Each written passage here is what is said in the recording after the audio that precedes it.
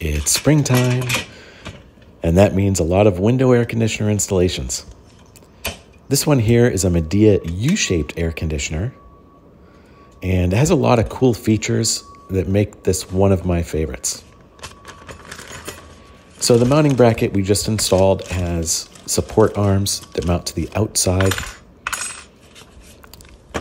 And on the inside, it adjusts to the width of your window and has two screws that go into the side of the window jamb. Here we have a little insulation for the window channel.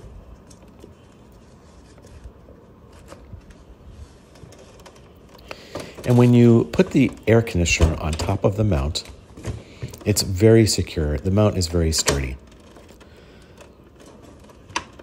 We're just going to lower the insulation brackets and as we position it, you slide it back and forth and it locks right in to the mount. These insulation blocks were pre-cut the year before and they fit nice and snug. The goal here is to keep as much of the warm air outside as possible. So here I'm securing the two, the two metal bars which go across the air conditioner and they lock it into the window frame. Now everybody's window is different. This one has a bit of a gap.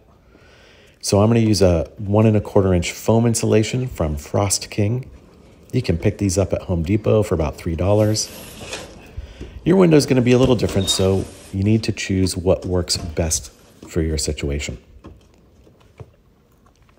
The thing I like about these Midea window air conditioners is they separate the compressor, motor, and fan from the internal motor and fan.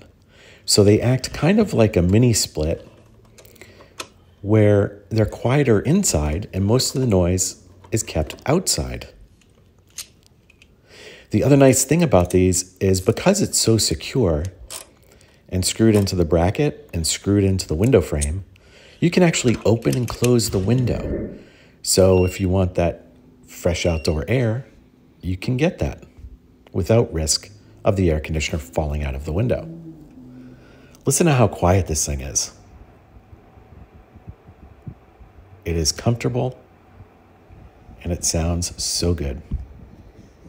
If you want your own, check the comments for a link. And please subscribe for more handyman tips and tricks.